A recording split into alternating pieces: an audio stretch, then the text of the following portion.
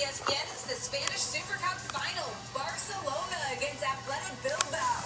Lionel Messi back in action today.